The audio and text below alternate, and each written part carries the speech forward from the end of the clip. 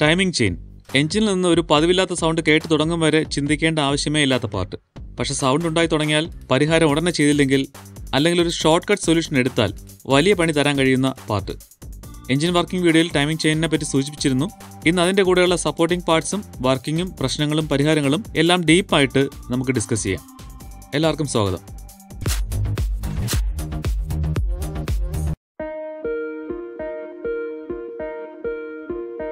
Overhead cam shaft ഉള്ള മിക്ക എഞ്ചിനിലും ഉള്ള സംഗതി. ക്രാങ്ക് ഷാഫ്റ്റിനെ ക്യാം ഷാഫ്റ്റുമായിട്ട് ബന്ധിപ്പിക്കുന്ന പാർട്ട്. മിക്ക വണ്ടികളിലെന്ന് പറഞ്ഞത് ചില ബൈക്കുകളിൽ റബ്ബർ ബെൽറ്റാണ് പകരം യൂസ് ചെയ്യുന്നത്.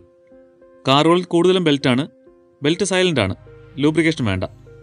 പക്ഷേ ഫെയിൽ ആവും മുമ്പ് ചെയിൻ പോലെ ഇൻഡിക്കേഷൻ ഒന്നും തരില്ല. അതുകൊണ്ട് കൃത്യം ഇന്റർവെല്ലിൽ അത് ചേഞ്ച് ചെയ്യണം. ടൈമിംഗ് ചെയിന്റെ സൗണ്ട് കൃത്യസമയത്ത് പരിഹരിക്കണമെന്ന് പറഞ്ഞല്ലോ. ഈ സൗണ്ട് എങ്ങനെയായിരിക്കും എന്നറിയാത്തവർക്ക്.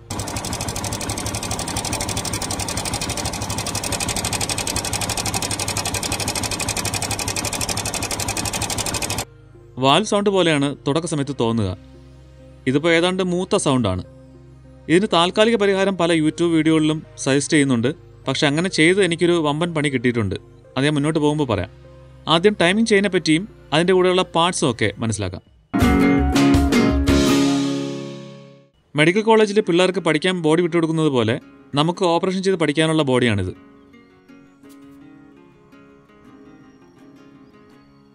ഇത് ഫ്ലൈ വീലാണെന്ന് അറിയാലോ.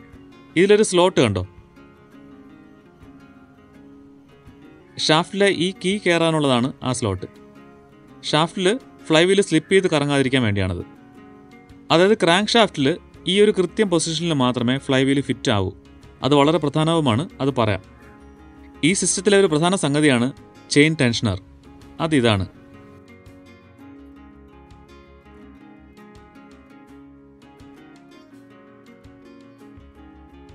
അത് ഈ ചെയിനിനെ ഒട്ടും ലൂസ് ഇല്ലാതെ ഫ്രീ പ്ലേ ഇല്ലാതെ ടൈറ്റായി നിർത്തും.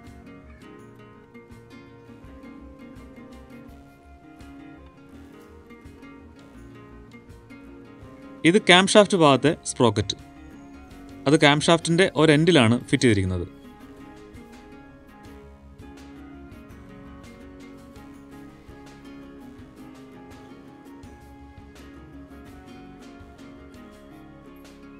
ഇത് ചെയിൻ ഗൈഡ്. ഇത് രണ്ടെണ്ണം ഉണ്ട്.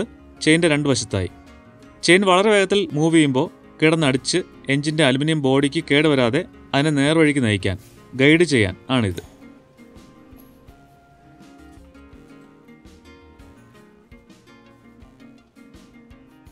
രണ്ടാമത്തെ chain guide.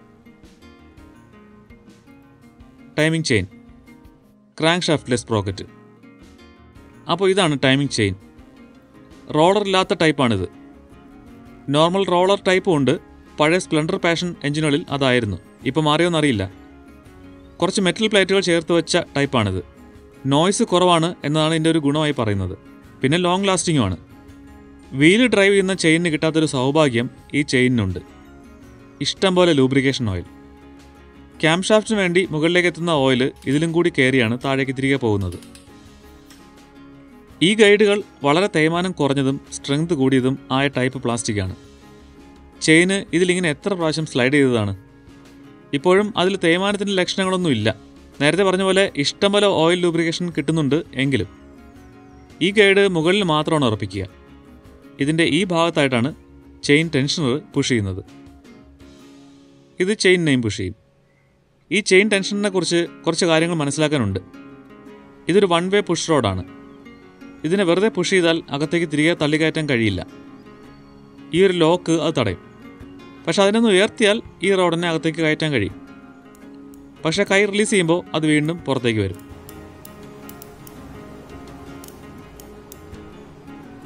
ആ വൺ വേ ലോക്ക് അതിനെ പുറത്തേക്ക് പോകാൻ അനുവദിക്കും. പക്ഷേ ഓരോ സ്ലോട്ടും പുറത്തേക്ക് വന്നാൽ പിന്നെ അവിടെ നിന്ന് തിരിച്ചകത്തേക്കൊരു കയറ്റം അനുവദിക്കില്ല. ഇതൊരു സ്പ്രിങ് വെച്ച് ലോഡ് ചെയ്താണ് നിർത്തിയിരിക്കുന്നത്. അത്രയ്ക്ക് പവർഫുള്ളായ സ്പ്രിങ് അല്ല. അപ്പോൾ ചെയിന്റെ ഫ്രീ പ്ലേക്ക് അനുസരിച്ച് ഓരോ സ്ലോട്ടായിട്ട് ഈ പുഷ് റോഡ് പുറത്തേക്ക് നീങ്ങി ആ പ്ലേ മാറ്റും. പക്ഷേ അവിടെ നിന്ന് ചെയിൻ ഇതിനെ തിരികെ പുഷ് ചെയ്യാൻ കഴിയാത്തതുകൊണ്ട് അത് പെർഫെക്റ്റായി പ്ലേ ഇല്ലാതെ ഓപ്പറേറ്റ് ചെയ്യും. വീണ്ടും പ്ലേ കൂടുമ്പോൾ ഒരു സ്ലോട്ട് നീങ്ങാനുള്ള പ്ലേ ആവുമ്പോൾ റോഡ് വീണ്ടും ഒരു സ്ലോട്ട് പുറത്തിറങ്ങും പിന്നെ അവിടെ നിൽക്കും. അങ്ങനെ ഈ ചെയിന്റെ പ്ലേ എപ്പോഴും കമ്പനി ഉദ്ദേശിക്കുന്ന ലെവലിൽ നിലനിർത്തും. എത്ര പ്ലേ ആവാമെന്ന് കമ്പനി ഉദ്ദേശിക്കുന്നോ അതിനനുസരിച്ചുള്ള ബലത്തിലുള്ള സ്പ്രിംഗ് ആണ് ഇതിൽ ഉപയോഗിച്ചിരിക്കുന്നത്. മറ്റുള്ള വണ്ടികളിൽ ഉള്ള ടെൻഷനർ കുറച്ച് വ്യത്യാസമുണ്ട്. ഇതുപോലെ സ്ലോട്ട് ടൈപ്പ് അല്ല. അതിന്റെ പിന്നിലൊരു ചെറിയ സ്ക്രൂ ഡ്രൈവർ കടത്തി ടേൺ ചെയ്താണ് അത് അഡ്ജസ്റ്റ് ചെയ്യുന്നത്.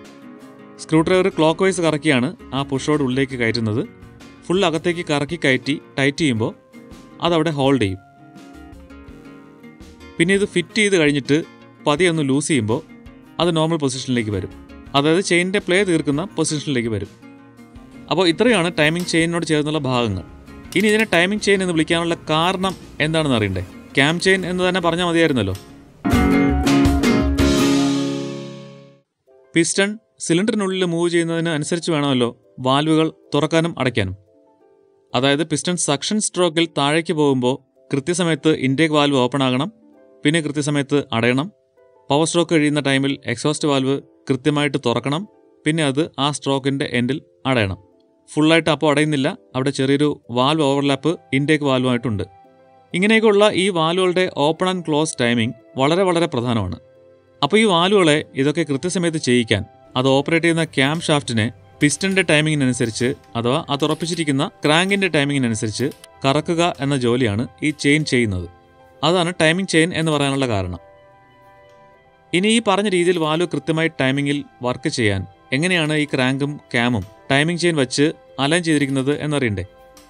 പിസ്റ്റൺ ഏറ്റവും മുകളിലെത്തുമ്പോൾ അതിന് top dead centre T D C എന്നാണല്ലോ പറയുന്നത്. പിസ്റ്റന്റെ പൊസിഷൻ അറിയിക്കുന്നതാണ് ഈ ടീക്ക് അടുത്തുള്ള ഈ മാർക്കിംഗ്. അത് ഈ കേസിങ്ങിലെ ഒരു പോയിന്റിന് നേർക്ക് വരുമ്പോൾ പിസ്റ്റൺ കൃത്യം ടി ഡി സിയിലാണ് എന്നാണ് അർത്ഥം. അപ്പോൾ ഈ T D C marking align ചെയ്തിട്ടാണ് ക്യാം ഷാഫ്റ്റിന്റെ ടൈമിംഗ് സെറ്റ് ചെയ്യുന്നത്. ക്യാം സ്പ്രോക്കറ്റിൽ ഇങ്ങനൊരു മാർക്കിംഗ് ഉണ്ടാവും.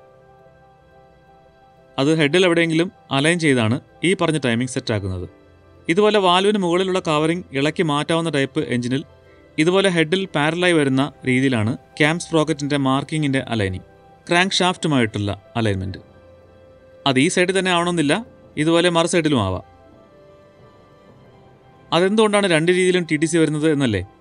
ക്രാങ്ക് ഷാഫ്റ്റ് രണ്ട് തവണ കറങ്ങുമ്പോഴാണ് ക്യാം ഷാഫ്റ്റ് ഒരു തവണ കറങ്ങുന്നത് എന്നുള്ള കാര്യം നിങ്ങൾക്കറിയാം.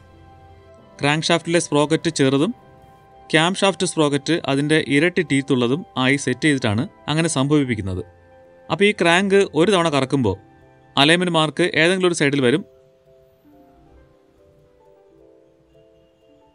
ഇപ്പോൾ ഇവിടെ വന്നു.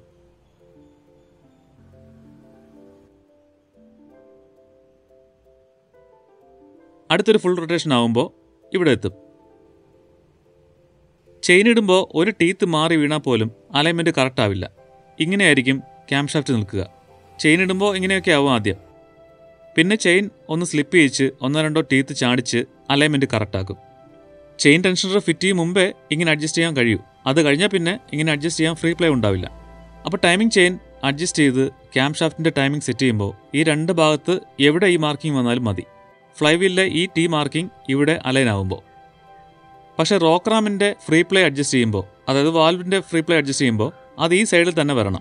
കാരണം ഇങ്ങനെ വരുമ്പോഴാണ് കംപ്രഷൻ സ്ട്രോക്കിന്റെ ടി ഡി സിയിൽ പിസ്റ്റൺ എത്തുക. ഇങ്ങനെയാണ് ക്യാം ഷാഫ്റ്റ് അപ്പോൾ നിൽക്കുക. വാൽവ് രണ്ടും അടഞ്ഞ്. ഈ പൊസിഷനിലാണ് ഗ്യാപ്പ് അഡ്ജസ്റ്റ് ചെയ്യുന്നത്. ഇത് ഡ്യൂക്ക് ടു ഹൺഡ്രഡിന്റേതാണ് ഡബിൾ ഓവർഹെഡ് ക്യാം ഉള്ളതിൽ ഇങ്ങനെയാണ്. ഈ രണ്ട് സ്പ്രോക്കറ്റ്സിലെയും മാർക്കിങ്സ് പാരലായി വരണം. ഒപ്പം ആ ടി ലെറ്ററും ഒരേ സൈഡിൽ വരണം. മുകളിലാണെങ്കിലും താഴെയാണെങ്കിലും. ഷിംസ് മാറ്റി ഗ്യാപ്പ് അഡ്ജസ്റ്റ് ചെയ്യാൻ ഇങ്ങനെയാണ് വരേണ്ടത്. ക്യാം ഷാഫ്റ്റിന്റെ ടൈമിംഗ് ഈ സ്പ്രോക്കറ്റ് വെച്ച് തന്നെ കോൺഫിഡന്റ് ആയിട്ട് നോക്കുന്നത് എന്തെന്നാൽ ക്യാം ഷാഫ്റ്റിൽ ഒരു പ്രത്യേക പൊസിഷനിൽ മാത്രമേ സ്പ്രോക്കറ്റ് ഫിറ്റ് ചെയ്യാൻ കഴിയൂ എന്നതുകൊണ്ടാണ്. അതിനൊരു പിന്നുണ്ട്. അതാണ് ഈ കാണുന്നത്. അതുകൊണ്ട് അത് എപ്പോഴും ഈ ഒരു പൊസിഷനിലെ ഫിറ്റ് ആവുകയുള്ളൂ. അതുകൊണ്ട് സ്പ്രോക്കറ്റിന്റെ പൊസിഷൻ വിശ്വസിച്ച് ക്യാം ഷാഫ്റ്റിന്റെ ടൈമിംഗ് സെറ്റാക്കാം അതുപോലെ തന്നെയാണ് ഫ്ലൈവീലിന്റെ കാര്യവും. ക്രാങ്കിൽ ഇതിനും കൃത്യമായിട്ടൊരു പൊസിഷൻ ഉണ്ടെങ്കിലല്ലേ അതിലെ ടീ മാർക്കിംഗ് വിശ്വസിക്കാൻ പറ്റൂ. അതായത് ആ ടൈമിൽ പിസ്റ്റൺ ടി ഡി സി തന്നെയാണെന്ന് ഉറപ്പിക്കാൻ പറ്റൂ.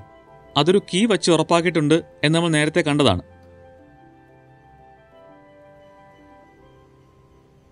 അപ്പോൾ ടൈമിംഗ് ചെയിനും അതിന്റെ സപ്പോർട്ടിംഗ് പാർട്സും ടൈമിംഗ് സെറ്റ് ചെയ്യുന്നതും അത് കേടാവുമ്പോൾ എങ്ങനെ അറിയാം അല്ലെങ്കിൽ ആ സൗണ്ട് എങ്ങനെ ഉണ്ടാവും എന്നുവരെയുള്ള കാര്യങ്ങൾ മനസ്സിലായെന്ന് വിശ്വസിക്കുന്നു. ഇനി ഈ പ്രോബ്ലംസ് വരുമ്പോൾ എന്ത് ചെയ്യണം എന്ത് ചെയ്തുകൂടാ അഥവാ ചെയ്തുകൂടാത്ത കാര്യങ്ങൾ ചെയ്തു കൂട്ടിയാൽ എവിടെ ചെന്നെത്തും എന്നുള്ള വളരെ പ്രധാനമായ കാര്യങ്ങളാണ് ഇനി പറയാൻ പോകുന്നത്. ടെൻഷനർ ചെയിന്റെ പ്ലേ തനിയെ അഡ്ജസ്റ്റ് ചെയ്ത് സൗണ്ട് വരാതെ നോക്കും എന്ന് പറഞ്ഞു. പക്ഷേ ചെയിൻ ഒത്തിരി സ്ട്രെച്ചായി അതിന്റെ സർവീസ് പീരീഡ് കഴിയുന്ന ഒരു ടൈം വരുമല്ലോ. അപ്പോൾ പിന്നെ ഈ സ്പ്രിങ്ങിന് അല്ലെങ്കിൽ ഈ ചെയിൻ ടെൻഷനറിന് ആ പ്ലേ മാറ്റാൻ കഴിയാതെ വരും. അപ്പോഴാണ് നമ്മൾ ചെറിയ സൗണ്ട് കേട്ട് തുടങ്ങുന്നത്. പ്ലേ കൂടുന്തോറും ആ സൗണ്ടും കൂടി വരും. ഈ സ്പ്രിങ്ങിന്റെ ബലം കുറേ നാൾ കഴിയുമ്പോൾ തനിയെ കുറയും. അപ്പോൾ ടെൻഷനിന് നോർമൽ രീതിയിൽ ആ പ്ലേ മാറ്റാൻ കഴിയാതെ വരും. അതുകൊണ്ടും ഇങ്ങനെ സൗണ്ട് ഉണ്ടാവാം. അപ്പോൾ രണ്ടായാലും ഈ ടെൻഷൻ സ്പ്രിങ് ഇളക്കിയിട്ട് ഒരു സ്ക്രൂ ഡ്രൈവർ കയറ്റി ഒന്നോ രണ്ടോ സ്ലോട്ട് ഈ റോഡിനെ തള്ളി പുറത്തേക്ക് ഇറക്കിയാൽ ചെയിനിന്റെ പ്ലേ മാനുവലായിട്ട് കുറയ്ക്കാം. മറ്റേ ടൈപ്പിൽ സ്ക്രൂ ഡ്രൈവർ കടത്തി ചെറുതായിട്ടൊന്ന് ആന്റി ക്ലോക്ക് വൈസ് കറക്കുമ്പോൾ റോഡ് പുറത്തേക്ക് നീങ്ങി പ്ലേ മാറ്റും. അപ്പോൾ സൗണ്ട് മാറും ഇനിഷ്യൽ സ്റ്റേജിലാണെങ്കിൽ ഇത്തിരി കൂടുതൽ ചെയിൻ സ്ട്രെച്ച് ആയിട്ടുണ്ടെങ്കിൽ സൗണ്ട് കുറയുകയുള്ളൂ മുഴുവൻ മാറില്ല. ഇങ്ങനെ സൗണ്ട് കുറയ്ക്കാം. പക്ഷേ ഇതിലൊരു വലിയ പ്രോബ്ലം നമ്മളെ കാത്തിരിക്കുന്നുണ്ട്. ഈ ചെയിൻ സ്ട്രെച്ച് ആയിട്ടാണല്ലോ പ്ലേ കൂടുന്നത്. അങ്ങനെ കൂടുതൽ സ്ട്രെച്ച് ആവുകയും നമ്മൾ അതിനെ ടൈറ്റ് ചെയ്ത് പിടിക്കുകയും കൂടി ചെയ്യുമ്പോൾ ഈ കാണുന്ന ചെറിയ സ്പ്രോക്കറ്റ് പല്ലുകളിൽ ഈക്വലായി പിടിക്കേണ്ട ഈക്വലായി ലോഡ് വീതിച്ച് കൊടുക്കേണ്ട ചെയിൻ കണ്ണികൾ ചില ടീത്തുകളിൽ കൂടുതൽ പിടിച്ചു തുടങ്ങും. കൂടുതൽ ലോഡ് കൊടുത്തു തുടങ്ങും. അങ്ങനെ ആ സ്പ്രോക്കറ്റ് ടീത്തുകൾ അത് താങ്ങാതെ ഓവറായിട്ട് തേയുകയോ ഇതുപോലെ പൊട്ടി അടർന്നു പോവുകയോ ചെയ്യാം. ഇത് അതിശയോക്തിയല്ല എന്റെ സ്വന്തം അനുഭവമാണ്. രണ്ടായിരത്തി ഏഴ് രണ്ടായിരത്തി എട്ട് സമയത്താണെന്ന് തോന്നുന്നു. വണ്ടി ഒരു എഴുപത്തയ്യായിരം കിലോമീറ്ററൊക്കെ ഓടിയ സമയം. ടൈമിംഗ് ചെയിൻ സൗണ്ട് വന്നു തുടങ്ങിയപ്പോൾ ഞാൻ ഈ ടെൻഷനർ മാനുവലായിട്ട് അഡ്ജസ്റ്റ് ചെയ്ത് അത് കുറച്ചുകൊണ്ടിരുന്നു ചെയിന്റെ വില അന്വേഷിച്ചപ്പോൾ ആയിരത്തിന് മുകളിലായിരുന്നു എന്നാണ് എന്റെ ഓർമ്മ. ചെറിയ സാമ്പത്തിക ബുദ്ധിമുട്ടുള്ളതുകൊണ്ട് അപ്പോൾ മാറിയില്ല. സൗണ്ട് കൂടി വന്നപ്പോൾ ടെൻഷനർ പലതവണ അഡ്ജസ്റ്റ് ചെയ്തു.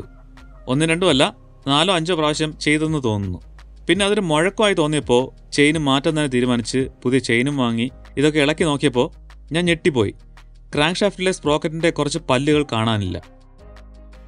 കുറച്ച് ഇൻവെസ്റ്റിഗേഷന്റെ ഒടുവിൽ മനസ്സിലായി ചെയിൻ നല്ല സ്ട്രെച്ചായിട്ടും മാറാതെ ടെൻഷനർ ടൈറ്റ് ചെയ്തു വച്ചതിന്റെ ഫലമാണിതെന്ന്. അതിന് കൊടുക്കേണ്ടി വന്ന വില ചില്ലറയല്ല. ഈ ക്രാങ്ക് സ്പ്രോക്കറ്റ് ക്രാങ്ക് ഷാഫ്റ്റിൽ തന്നെ മില്ല് ചെയ്തെടുത്തതാണ്. സെപ്പറേറ്റ് പീസല്ല. അപ്പോൾ ക്രാങ്ക് ഷാഫ്റ്റ് മൊത്തത്തിൽ മാറേണ്ടി വരും. ബാക്കി പറയണ്ടല്ലോ. ടൈമിംഗ് ചെയിൻ ടൈമിൽ മാറാതിരുന്നതിന് കിട്ടിയ ശിക്ഷ. അനുഭവിച്ചല്ലേ പറ്റൂ? ഇപ്പോൾ മനസ്സിലായില്ലേ ഒരു വെറും ടൈമിംഗ് ചെയിൻ സൗണ്ടിന് എന്തൊക്കെ ചെയ്യാൻ പറ്റുമെന്ന്? അപ്പോൾ ടൈമിംഗ് ചെയിൻ സൗണ്ട് കേട്ട് തുടങ്ങിയാൽ ഒരു തവണ ടെൻഷനർ മാനുവലായി അഡ്ജസ്റ്റ് ചെയ്യുന്നതിൽ തെറ്റില്ല അങ്ങേറ്റം രണ്ട് തവണ. പക്ഷേ അതിൽ കൂടുതൽ ചെയ്യാൻ നിൽക്കരുത്. ടൈമിംഗ് ചെയിൻ പുതിയത് മാറിയേക്കണം. ഇനി ടെൻഷനിന്റെ പ്രോബ്ലം ആണെന്ന് തോന്നുന്നുണ്ടെങ്കിൽ അത് ആദ്യം മാറ്റി നോക്കാം. ടൈമിംഗ് ചെയിനിനൊപ്പം ടെൻഷനും കൂടി മാറ്റുന്നതിൽ തെറ്റില്ല. ഇനി അതിന്റെ പ്രോബ്ലം കൊണ്ട് അടുത്ത തവണ ചെയിൻ സൗണ്ട് ഉണ്ടാവില്ല എന്ന് ഉറപ്പിക്കാമല്ലോ. അപ്പോൾ നിസ്സാരെന്ന് നമ്മൾ കരുതുന്ന ഒരു പാർട്ടിന്റെ ഒരു കംപ്ലൈന്റ് ഇഗ്നോർ ചെയ്താൽ സമയത്തിന് തീർക്കാതിരുന്നാൽ അത് എവിടെയൊക്കെ ചെന്നെത്തും എന്ന് നിങ്ങൾക്കിപ്പോൾ മനസ്സിലായി കാണും. ഒപ്പം ടൈമിംഗ് ചെയിനിനെയും അതിനൊപ്പമുള്ള സപ്പോർട്ടിംഗ് പാർട്സിനെയും അപ്പോൾ വീഡിയോ കഴിയുകയാണ്. ലൈക്ക് പ്രതീക്ഷിക്കുന്നു. കൂടുതൽ നല്ല വീഡിയോകൾക്കായി സബ്സ്ക്രൈബും ചെയ്യുക. അടുത്ത വീഡിയോയിൽ കാണാം. Thank so much for watching